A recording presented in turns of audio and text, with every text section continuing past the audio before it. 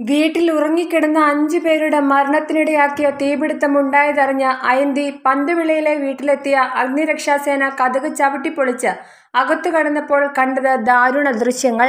മുകൾ നിലയിലേക്കുള്ള പടികളിൽ ദേഹമാസകലം പൊള്ളലേറ്റ് അവശനായ നിഹുലിനെയാണ് ഇവർ ആദ്യം കണ്ടത്. ഭാര്യയും കുഞ്ഞും മുകളിലുണ്ടെന്ന് പറഞ്ഞപ്പോഴേക്കും നിഹുൽ കുഴഞ്ഞു വീണു. ആംബുലൻസിൽ കയറ്റുമ്പോഴും നിഹുൽ പറഞ്ഞുകൊണ്ടേയിരുന്നു വീട്ടിനുള്ളിൽ എല്ലാവരുമുണ്ട് രക്ഷിക്കണേ.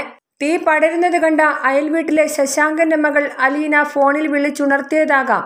കൂട്ടമരണത്തിൽ നിന്ന് നിഖുലിനെ മാത്രം രക്ഷിച്ചതെന്നാണ് കരുതുന്നത്. തീ ആദ്യം കണ്ടത് ശശാങ്കനാണ്. ഒരു ഉറക്കത്തിന് ശേഷം ശുചിമുറിയിൽ കയറുമ്പോഴാണ് എതിർവശത്തെ വീട്ടിൽ തീയാളുന്ന പ്രകാശം ഇദ്ദേഹം കണ്ടത്. അയൽവാസികളെ ഉണർത്തി ബഹളം വെച്ചെങ്കിലും പ്രതാപനും കുടുംബവും അതറിഞ്ഞില്ല. അപ്പോഴാണ് അലീന നിഖുലിന്റെ ഫോണിൽ വിളിച്ചത്. രണ്ടു തവണ വിളിച്ചപ്പോഴാണ് ഫോൺ എടുത്തത്. നിങ്ങളുടെ വീട്ടിൽ തീ പടരുന്നുവെന്ന് അലീന പറഞ്ഞു. എന്താണ് സംഭവിച്ചതെന്നറിയാൻ നിഖുൽ ഓടി താഴത്തെ നിലയിലേക്ക് വന്നിരിക്കാമെന്നാണ് അനുമാനം. ഗുരുതരമായി പൊള്ളലേറ്റ നിഖുൽ അപകടാവസ്ഥ തരണം ചെയ്താലേ സംഭവത്തെക്കുറിച്ചുള്ള വിവരം ലഭിക്കൂ. താഴത്തെ ഹാളിനോട് ചേർന്നായിരുന്നു നിഖുലിന്റെ പിതാവ് പ്രതാപന്റെ മൃതദേഹമെന്ന് പോലീസ് അറിയിച്ചു. കിടപ്പുമുറിയിൽ ഭാര്യ ഷെർലിയും ഇരുവർക്കും ചെറിയ തോതിലെ പൊള്ളലേറ്റിരുന്നുള്ളൂ. അടുക്കളയിൽ ഗ്യാസ് സിലിണ്ടർ ഉണ്ടായിരുന്നുവെങ്കിലും തീ അങ്ങോട്ടേക്ക് പടർന്നിരുന്നില്ല.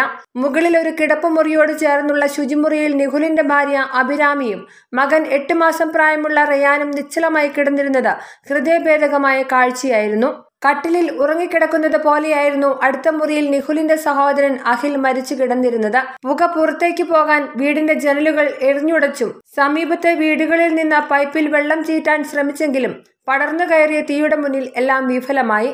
ചൂടിൽ വീടിന്റെ ഭിത്തിയിലെ സിമന്റ് ഇളകി വീണു. തറ പൊട്ടിത്തെറിച്ച് ഇളകി മാറി. ഫർണിച്ചറുകൾ ഉരുകിയ സ്ഥിതിയിലാണ്.